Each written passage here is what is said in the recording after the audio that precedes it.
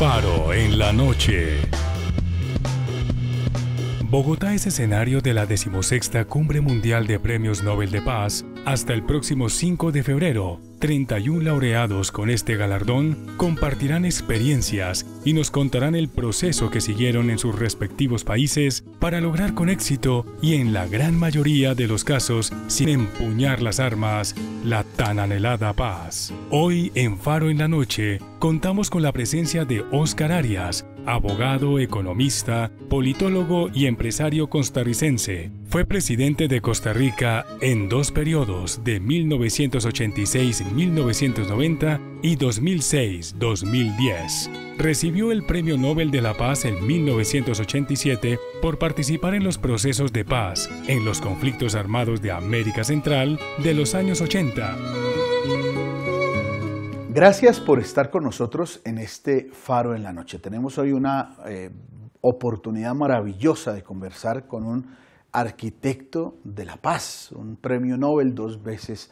Eh, hizo, acompañó a su país como presidente de Costa Rica, el doctor Oscar Arias. Muchas gracias, presidente, por acompañarnos y permitir que los cristovidentes conversen con usted. Usted trabajó mucho con el tema de la paz, fue dos veces presidente, pero además es eh, abogado, es economista, es politólogo, es empresario.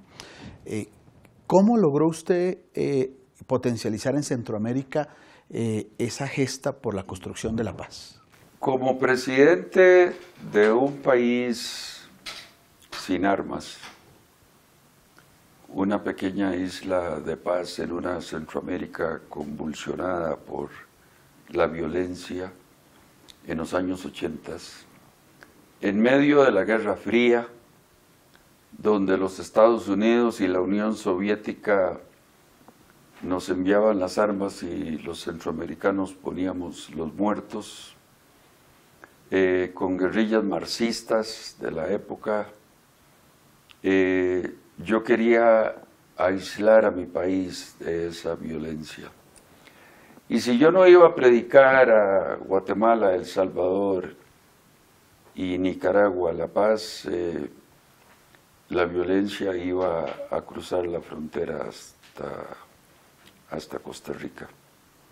De tal manera que desde la campaña política del 85 y 86, yo abogaba por una salida dialogada, negociada al conflicto en la región. Eh, existía una iniciativa de paz que se llamaba Iniciativa de Paz de Contadora, una pequeñita isla eh, en Panamá donde los cancilleres de América Latina, muchos de ellos, ocho países, habían eh, introducido esta iniciativa de paz. Y yo la apoyaba, por supuesto, hasta que fracasó no se pudieron poner de acuerdo los cinco países centroamericanos. Y entonces eh, sobre la mesa no había nada más. Y ahí yo me vi obligado a introducir un plan de paz. Un plan de paz eh, que los presidentes estudiaron, valoraron, las cancillerías, los ejércitos, eran más importantes los ejércitos que las cancillerías. Eh, por lo menos eh, Estados Unidos, el Pentágono, el Departamento de Estado, la Casa Blanca, ponía enorme presión sobre los ejércitos para que dijeran que no, porque estaban convencidos de que la única salida era una salida militar un triunfo militar. Y no había manera que yo pudiera convencer al secretario de Estado de, los Estados Unidos, George Shultz, de que, de que era imposible de que la contra pudiera sacar a balazos a los andinistas del gobierno en Managua.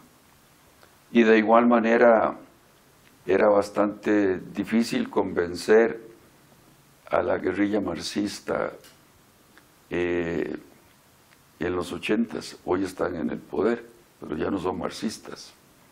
Eh, es un gobierno un poco de izquierda, pero, pero no quieren introducir el marxismo, el leninismo en El Salvador, por ejemplo.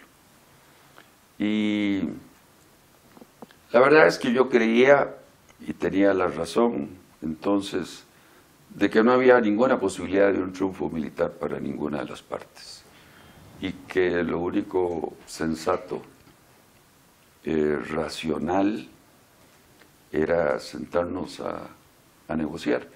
Yo introduje ese plan de paz en febrero de 1987.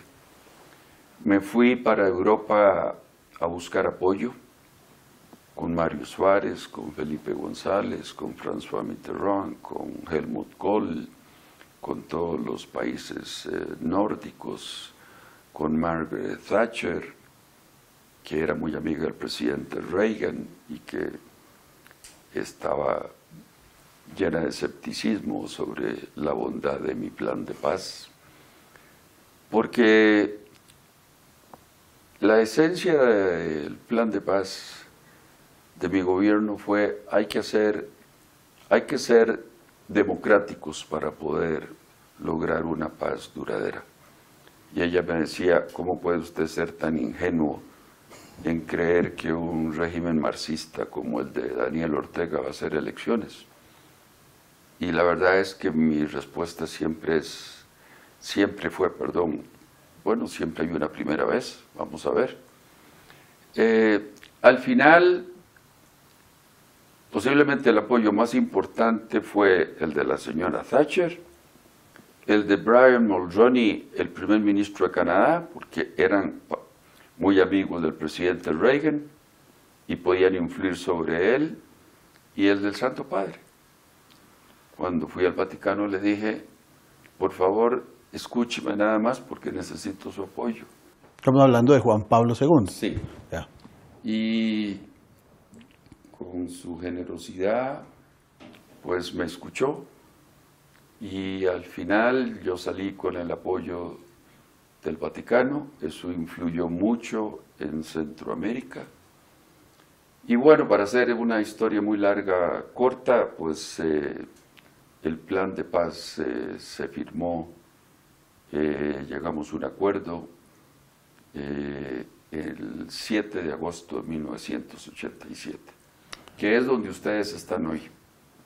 Lo más difícil vino después. O sea, que lo que nos toca ahora es lo más difícil. Sí, cumplir con lo mm. pactado, cumplir con el acuerdo. En su amplia experiencia de procesos de paz y en su colaboración permanente en Colombia en el proceso de paz, del cual usted se ha comprometido bastante, eh, ¿cómo, nos, ¿cómo nos ha visto en ese desarrollo de esta construcción de este proceso al llegar hasta aquí? ¿Cómo nos ha visto? Han tenido mucho tropiezo.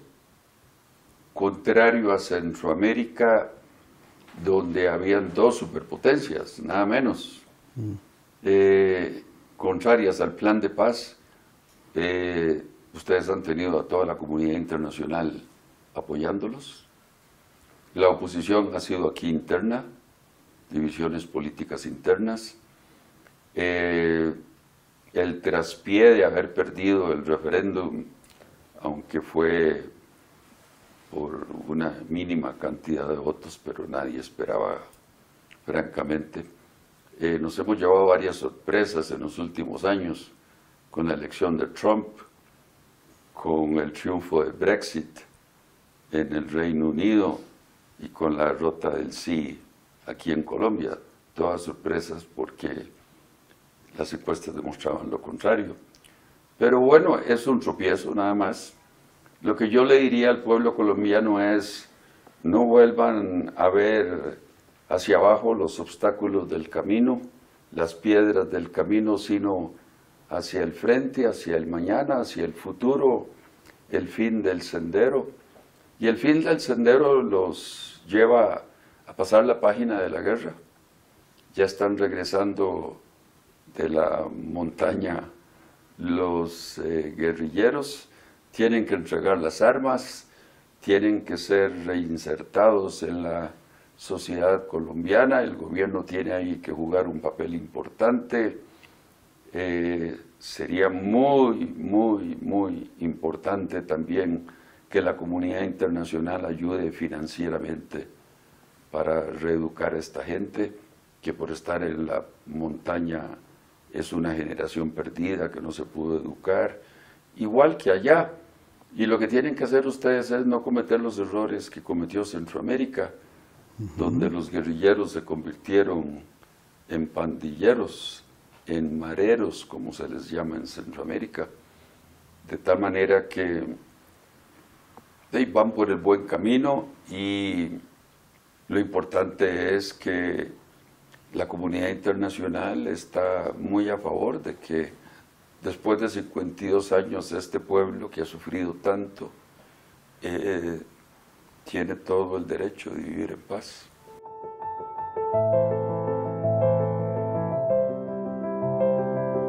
Twenty-six years ago, we South Africans decided to end the conflict that had divided us for centuries. We encountered many serious obstacles and setbacks during our constitutional negotiations. But we persisted and finally reached agreement. I urge the people of Colombia to persevere with your efforts to find a just and lasting peace. The rewards of peace are immense and will benefit your country and your children for generations to come.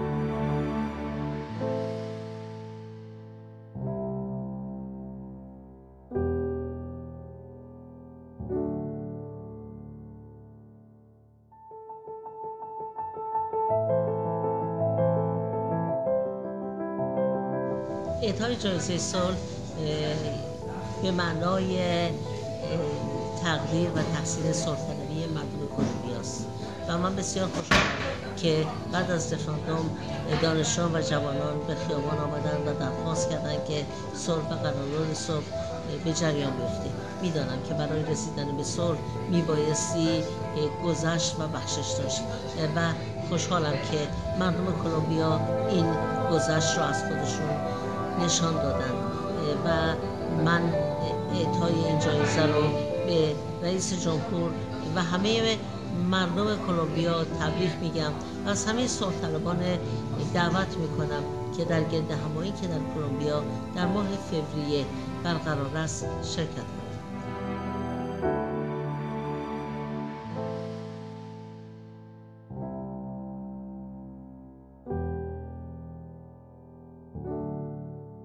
Presidente, eh, ¿cómo, ¿cómo, ve usted ahora este, este nuevo contexto social, político en el mundo? Usted nos decía el tema de Trump, el tema del Brexit, el tema de, América Latina, como que una tendencia también en Francia hacia gobiernos que ya tomen una distancia de, los movimientos de izquierda. ¿Cómo ve estos procesos?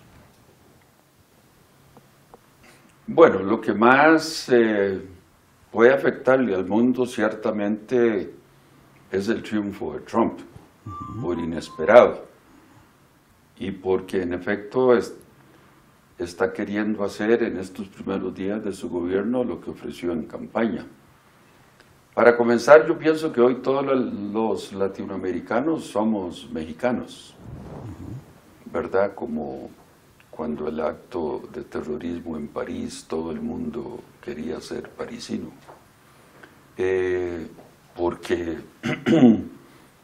construir un muro es una ignominia para, para los mexicanos, porque hoy en día el flujo de migración no es de México a Estados Unidos, sino de Estados Unidos a México. Están regresando los mexicanos. Y porque NAFTA es importante para Estados Unidos, como es importante para México y para Canadá. Después de 80 años de estar Estados Unidos diciéndole al mundo, el libre comercio es importante, tenemos un presidente proteccionista y los que están auspiciando, parece, eh, el libre comercio van a ser los chinos, que durante muchos años nosotros eh, no sabíamos nada de ellos. Eh, y que ciertamente no, no se habían abierto al mundo y en el campo comercial de no eran la potencia comercial que son hoy, sin duda alguna. Entonces sí, estamos viendo cambios importantes. Eh, este es el último conflicto armado que queda en América Latina, por eso tiene que terminar. Y, y si ustedes han sido exitosos con el crecimiento económico, no así con combatir la desigualdad, porque en eso no han tenido éxito. Imagínense lo que será este país cuando silencien las armas, la economía va a poder crecer más, eventualmente van a poder distribuir mejor la riqueza en este país y eventualmente vamos a crear una sociedad colombiana más igualitaria, que es lo que todos quisiéramos ver. Un, un obstáculo que puede trancar cualquier proceso de paz en cualquier, en cualquier país es el tema de la corrupción, que es un cáncer que atraviesa el mundo entero. Eh, ¿Cómo ponerle atención seriamente a este tema? Yo creo que la iglesia puede jugar un papel muy importante, la educación también, porque al final es un problema de valores, padre, como usted lo sabe. Es decir, ¿por qué América Latina tiene tanta corrupción? Porque porque la educación, porque nuestros padres, nuestros abuelos, porque la iglesia católica, las iglesias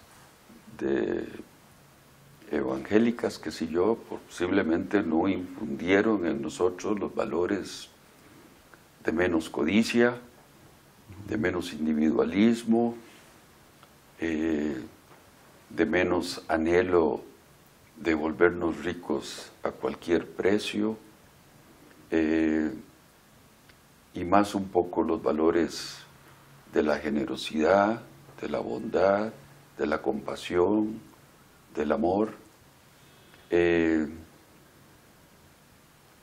y, bueno, yo creo que es eh, sembrando esos valores en nuestros niños y niñas desde muy temprana edad que podremos crear individuos que no se atrevan a utilizar el poder para su enriquecimiento personal.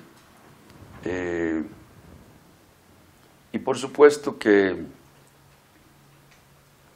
Sor Juan Inés de la Cruz nos lo decía, ¿quién es más de culpar el que peca por la paga o el que paga por pecar? Eh, no hay corruptos y no hay corruptores y lamentablemente estamos llenos de corruptores por todo lado. Hace unos años eh, las empresas europeas andaban ofreciendo sobornos eh, para que se les otorgaran los contratos a esas empresas.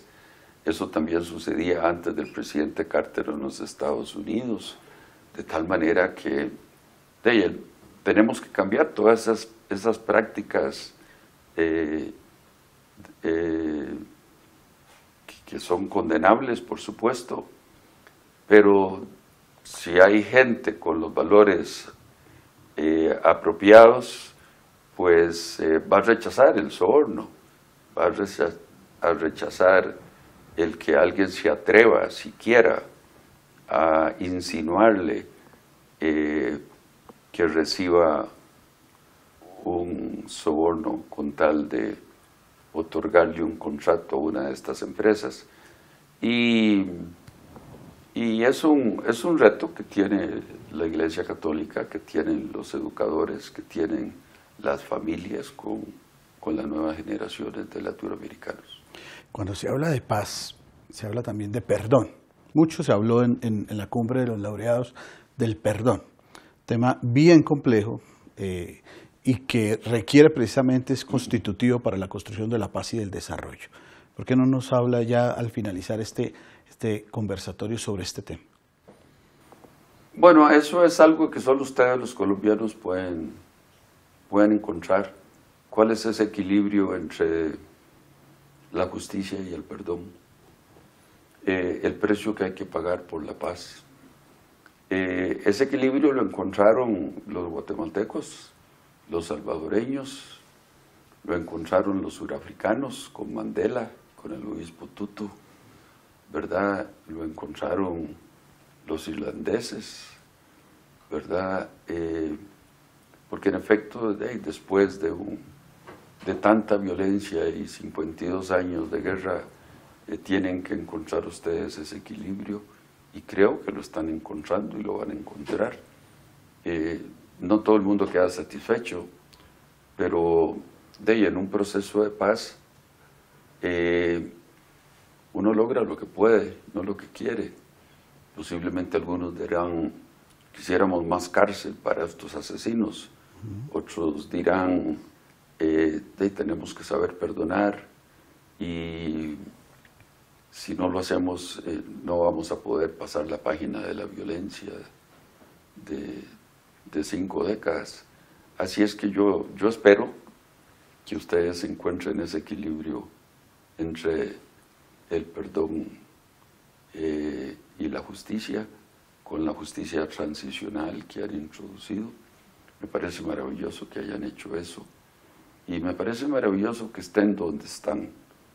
Yo creo que ya lo que han logrado es irreversible y que van por buen camino y que bueno, eh, habrán nuevas generaciones de colombianos que van a tener que ir a buscar la guerra del pasado en un museo. Claro que sí. Presidente, muchas gracias por atender al canal Cristovisión y a todos los cristovidentes. El canal Cristovisión es su casa. Gracias. A ustedes muchas gracias también por compartir con nosotros estos temas para ver el mundo con los ojos de Jesús.